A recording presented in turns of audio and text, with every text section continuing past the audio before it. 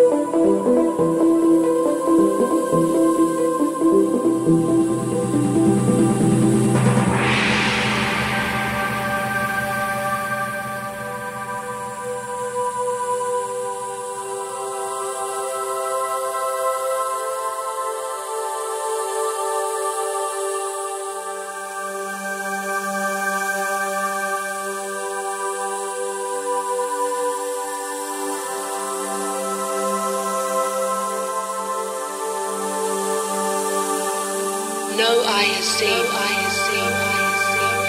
no ear has heard, no mind has conceived